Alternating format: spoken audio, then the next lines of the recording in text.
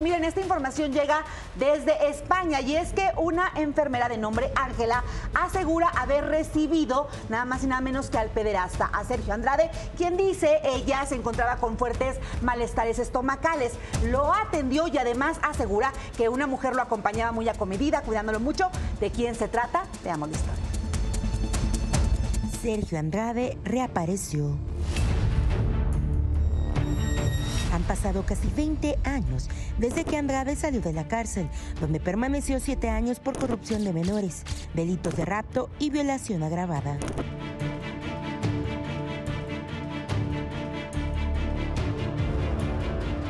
Ahora en medio de nuevas denuncias en su contra, tanto por presuntas víctimas cuyas identidades no han sido reveladas, como por la misma Gloria Trevi, el ex productor musical fue visto al ser hospitalizado de emergencia en España. La auxiliar de enfermería Ángela relató en el canal de YouTube de Esli Fombona cómo fue que se topó cara a cara con Andrade. No te puedo asegurar, creo que fue entre el 2 y el 3 de diciembre.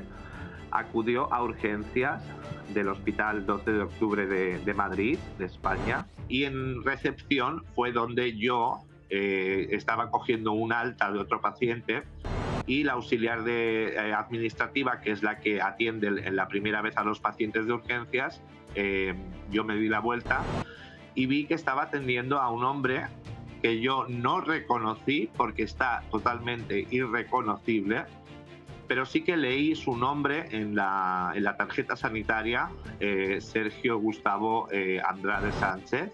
Venía con una situación, con un cuadro bastante fuerte de, del aparato digestivo, de pancreatitis. Venía... Adelante, adelante. Venía con este cuadro.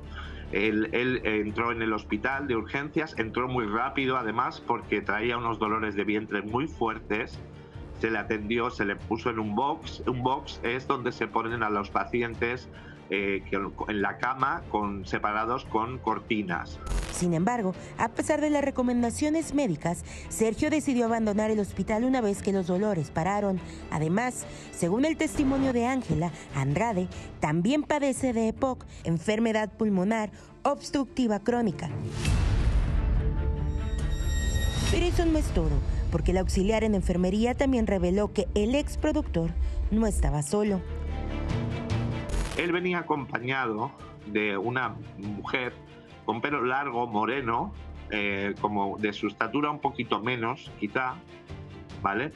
Y es una mujer que siempre estaba, todo el rato estaba como en segundo plano, o sea, ella no hablaba. Al ver una fotografía, Ángela confirmó que se podría tratar de su esposa Sonia Ríos, con quien tuvo dos hijas, Sofía y Antonia, actriz que vive en España y quien al haber sido descubierta por la prensa exigió respeto por su familia. No soy víctima de nadie. Mis padres, mi hermana y mi familia se merecen un respeto como todos en este mundo. Nos ganamos la vida trabajando y ocupándonos de nuestros asuntos, sin meternos con nadie. Hasta el momento son elucubraciones, eh, no hay una imagen, no hay nada confirmado, pero yo también en el mundo de la elucubración le pediría arriba que no se muera no, te me vayas a morir porque te queremos ver infeliz detrás de las rejas pagando asqueroso todo lo que hiciste. Ojalá estés vivo para que te pudras en una celda. Bueno, pero también recordemos lo que tú mismo dijiste, Gus, que tiene estrategias eh, abominables, ¿no? Como diciendo, ah, sí, yo soy, pero también tú, Gloria.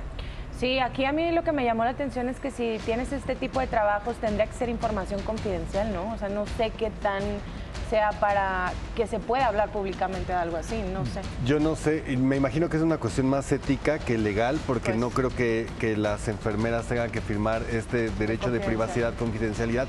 Lo que sí, al, al otorgarle un servicio de esta magnitud, también se decía que es porque él pertenece ya a la comunidad europea. O sea, sé que es una persona que está establecida en España, que tiene una casa y que tiene la residencia española.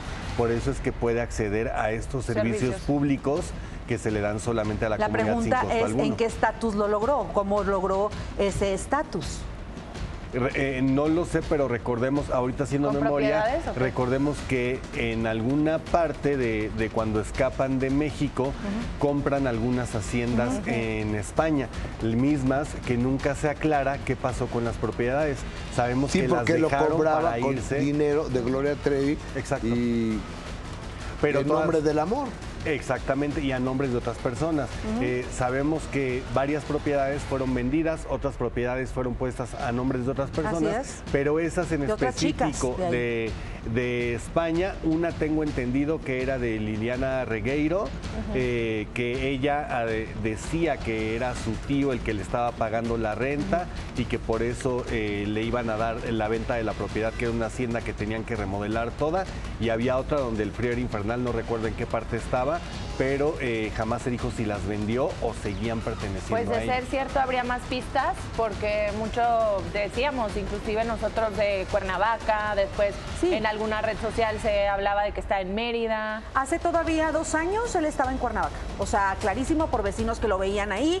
Después, en ese en efecto, se dijo que se había ido a vivir a Mérida, Mérida, pero de ser cierta esta situación que de otra manera no te explicas, que él tenga acceso y derecho a un servicio médico, pues ha sido muy rápido, ¿no? La atención y, y cómo ha logrado él ese estatus allá. Pero a ver, supongamos que no es ciudadano Y llegas muy mal. europeo. Ajá. Pero tú llegas mal y pagas, pues te atiende, ¿no? Me supongo. Pero la señora, bueno, la enfermera habla de un carné, ¿no? De un, de un carné de derechos. Digo, todo es hablado, no hemos visto ningún documento, tarjeta sanitaria, Ni una un carnet. foto, pues. Claro. Pues sí.